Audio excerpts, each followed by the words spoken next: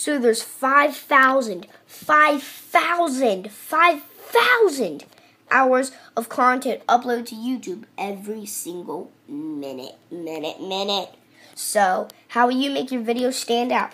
So, like, what if your video is about dice rolling, but someone else's, and it's the best dice rolling video ever, but someone else's video is also about dice rolling, but their video is more popular because it has a thumbnail. Today, I'm going to show you how to make a custom thumbnail. So first, you need to verify your account, which I've already done, and then you need to install TubeBuddy. TubeBuddy is free for all browsers, Google Chrome, Internet Explorer, whatever you're using.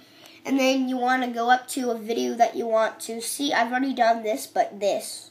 What will I evolve into? So you want to get TubeBuddy, these little um, pull out right here, and then you want to go to Thumbnail Generator thumbnail generator. What type of background would you like for the thumbnail? So I would like a solid color. Okay, continue to continue, which is right green here. And then you can add um, stuff to the thumbnail like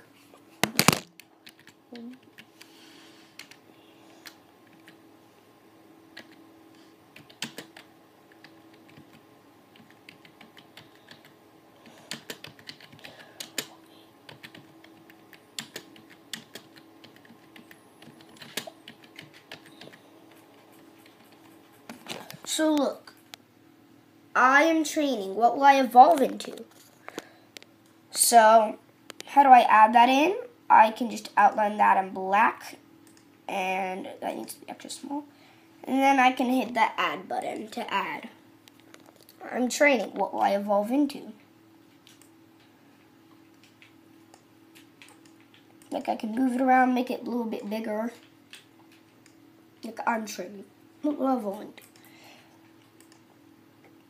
And then you can like get these images, so like this, for example, and then I can enlarge it, like enlarge the image if you know what I mean.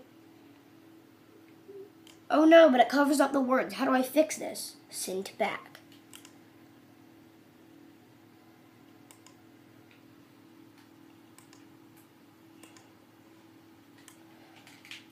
And TubeBuddy's being a little slow on me, but yeah. It's basically what it's supposed to do. So send that to back. And so I can get an image and you like um send it to send the image to back. And here we go, see? So now uh, it's supposed to go over the words. Or I know what's wrong. I just need to change the color of um, I'm training what will I evolve into. So, like, you can change the color so it can fit in. So, like, I'm training what will I evolve into. So, like that. And then I can add another image right here.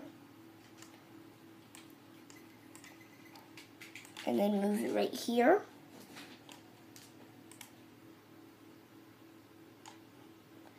And you can send that image to back and I'm training what will I evolve into. And then more last text.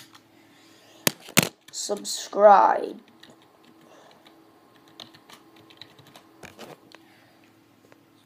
So um, you can subscribe and um, it's going to be red. And then I'm going to outline it in black and add that text. So there it is. Subscribe. And then you can distort it a little bit like I did there. Medium size. What's this? Or you can small, like like uh, that. This. Or what's this? And this and this. And you can outline what it in black, so it can be like that. Are you stuffing your animal? Huh? So like subscribe, and then then you need to hit continue, and then it shows like what a preview would look like. So what will I evolve into? Blah blah blah, and then you can hit save and publish. And then are you sure you want to publish this thumbnail for this video? Yes. And then it will publish your thumbnail, and it will take a while probably. And then After that, it will say thumbnail complete. Would you like to save this thumbnail? And then just click no. And then and then what you want to click see um you just want to um please reload this page to see your changes. So then you just reload YouTube and look at that. What will I evolve into has changed. So yeah, that's how you make a custom thumbnail. Bye.